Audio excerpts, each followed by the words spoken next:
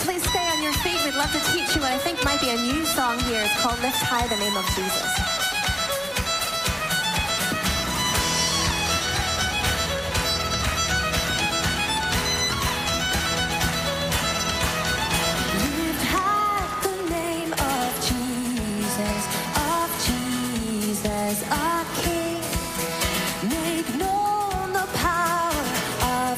Grace.